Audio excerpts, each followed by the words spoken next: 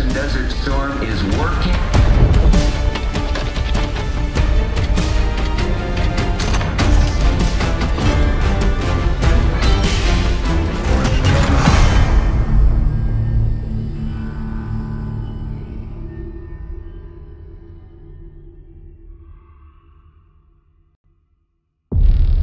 Are you denying that? We have discussed what it already. What more do you want, Livingston? Enough!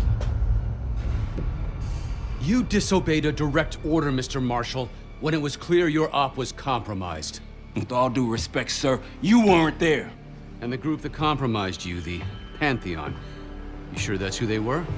That's what Alawi called them. When are you gonna tell us what's really going on here? I'm asking the questions, Mr. Woods. Sir, if you read the report, you I read your report, Ms. Harrow.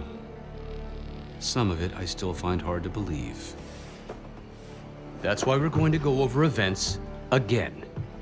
Only this time, I want to hear it from Marshall. From the beginning.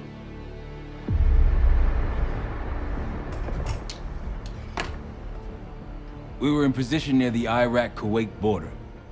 Small team. Me, Harrow, and Case.